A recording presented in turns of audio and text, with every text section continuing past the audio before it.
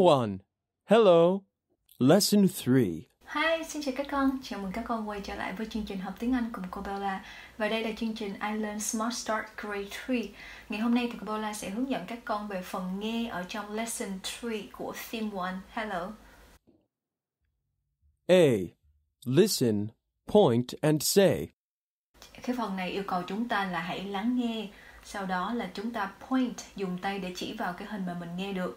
And say, và chúng ta hãy nói theo. 1. Tom. 2. Alfie. 3. My. 4. Nick. B. 1. Listen and read. Hãy lắng nghe và đọc theo. Tom and his friends meet an alien in the playground. Tom và những người bạn của mình đã gặp một người ngoài hành tinh ở sân chơi. Tom and his friends là Tom và những người bạn của mình. Meet là gặp. An alien. Alien là người ngoài hành tinh. An alien là một người ngoài hành tinh. In the playground, ở sân chơi. Playground là sân chơi. Tom and his friends meet an alien in the playground. Tom và những người bạn của mình đã gặp một người ngoài hành tinh ở sân chơi.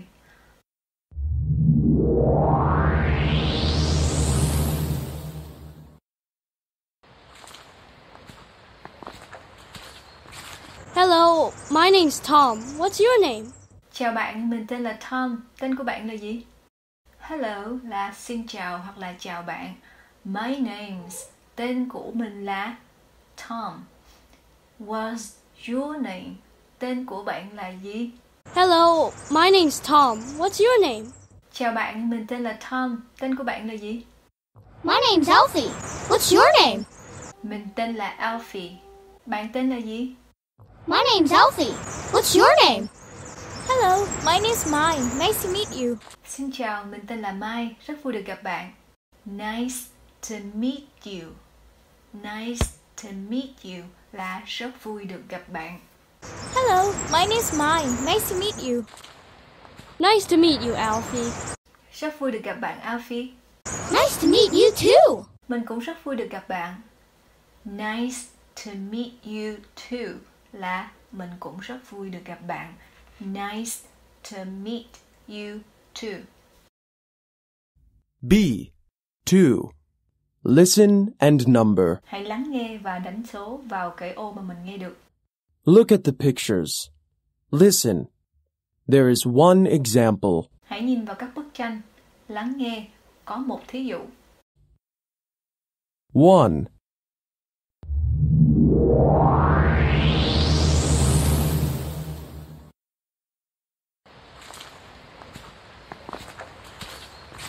Hello, my name's Tom. What's your name? Can you see number 1? This is an example. Các con có thấy số 1 không? Đây là một ví dụ. Trong cái bài nghe số 1 vừa rồi, number one, chúng ta nghe một bạn nhỏ nói là Hello, my name's Tom. What's your name? Thì cái câu này có nghĩa là gì? Các con nhớ không nè? Xin chào, mình tên là Tom, bạn tên là gì? Vậy cái người đang nói đó là Tom đúng không? Do đó chúng ta sẽ đánh số 1 vào ngay chỗ bạn Tom. Bây giờ các con hãy lắng nghe và đánh số vào những cái ô còn lại các con nhé. Now listen and number. 2. My name's Elfie. What's your name? 3. Hello, my name's Mine. Nice to meet you. Nice to meet you, Alfie. Nice to meet you too. B. 3. Practice the structure. Practice là thực hành, the structure là cấu trúc. Practice the structure là trong phần này chúng ta sẽ thực hành những cái cấu trúc câu quan trọng của ngày hôm nay cũng là những cái câu mà chúng ta đã nghe trong cuộc hội thoại vừa rồi. Các con hãy lắng nghe và đọc theo các con nhé. Hello, my name's Tom. Hello, my name's Tom. What's your name? What's your name? My name's Elfie. My name's Elfie. Nice to meet you. Nice to meet you. Nice to meet you too. Nice to meet you too.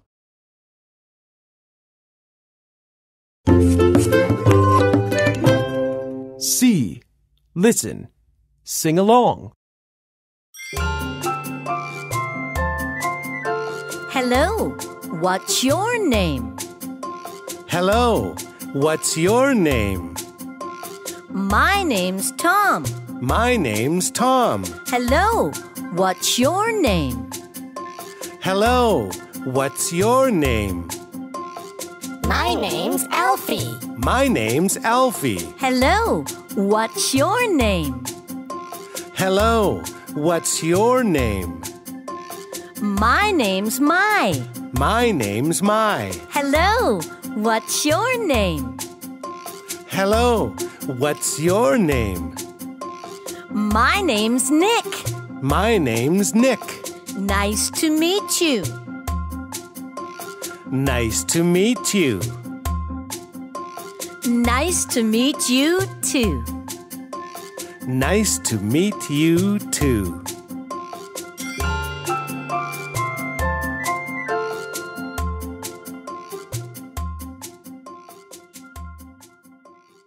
Pronunciation tip. Mẹo phát âm.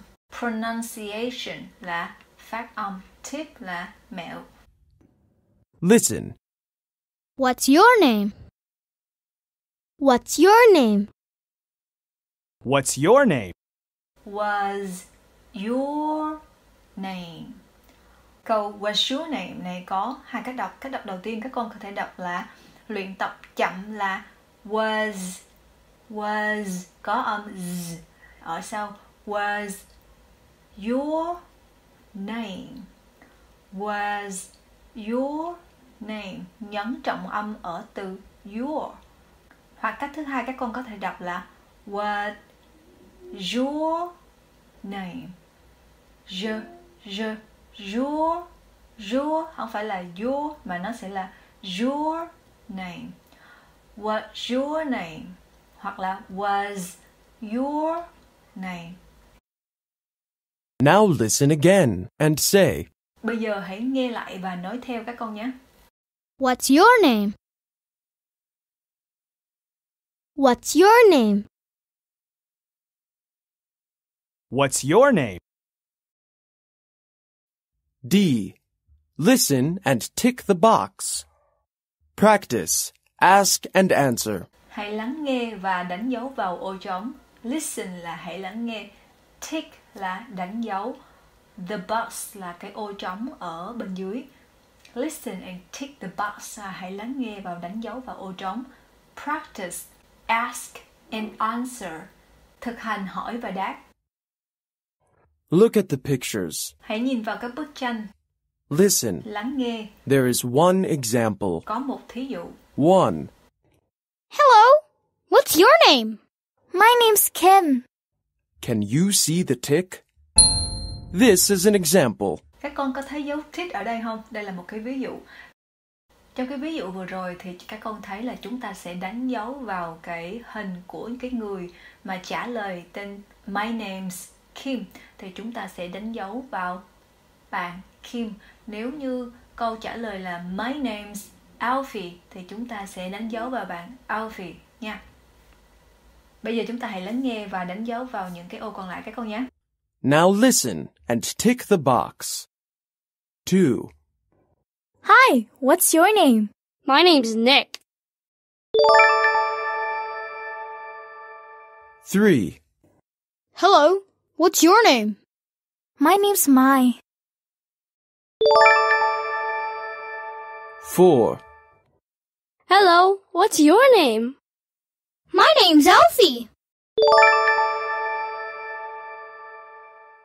Vậy là chúng ta đã hoàn thành lesson 3 rồi. Và là hy vọng rằng các con đã có thể nắm vững những cấu trúc câu chính mà chúng ta đã học trong bài 3. Bây giờ chúng ta ôn lại một chút xíu để các con có thể nắm vững hơn nhé. Cấu trúc đầu tiên đó chính là giới thiệu tên của mình, đúng không nào? Chúng ta sẽ nói là Hello, my name's rồi tên của mình. Ví dụ tên của mình là Alfie thì chúng ta sẽ nói là My name's Alfie. Nếu tên của mình là Tom thì mình sẽ nói là My name's Tom.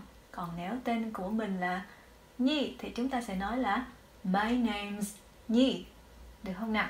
Và cấu trúc thứ hai đó chính là mình cấu trúc câu mình sẽ dùng để hỏi bạn tên là gì, hoặc là tên của bạn là gì thì cấu trúc đó chính là was your name đúng không tên của bạn là gì was your name hoặc có cách đọc thứ hai đó chính là what your name? What your name? Rồi cấu trúc thứ ba đó chính là nice to meet you. Nice to meet you. Rất vui được gặp bạn. Các con nhớ là cái câu nice to meet you. Rất vui được gặp bạn. Chúng ta chỉ sử dụng cho lần đầu tiên mình gặp một ai đó thôi nha. Các con lưu ý nha. Nice to meet you là chỉ được dùng cho lần đầu tiên mình gặp ai đó. Lần thứ hai trở đi thì chúng ta sẽ không dùng nice to meet you nữa các con nhé. Và cái từ nice to meet you có hai cách đọc. Cách đọc đầu tiên là như nãy giờ cô Bella đã đọc và cách đọc thứ hai đó chính là nice to meet you. Nice to meet you. Hmm. rồi khi ai đó nói với chúng ta là nice to meet you or nice to meet you, thì chúng ta sẽ trả lời là nice to meet you too. Nice to meet you too. Mình cũng rất vui được gặp bạn đó là tất cả những cấu trúc quan trọng mà chúng ta cần phải nắm vững ngày hôm nay. Và cô Bella hy vọng rằng sau khi các con nghe đến đây, thì các con có thể nghe đi nghe lại bài này nhiều lần và luyện tập nói nhiều lần. Thì chắc chắn một điều là các con có thể sử dụng những cấu trúc câu này một cách nhuần nhuyễn bài học đến đây là hết rồi. Cảm ơn các con rất là nhiều vì đã đồng hành cùng với cô Bella trong video ngày hôm nay. Và hẹn gặp lại các con ở video tiếp theo của Lesson 4. Tạm biệt các con!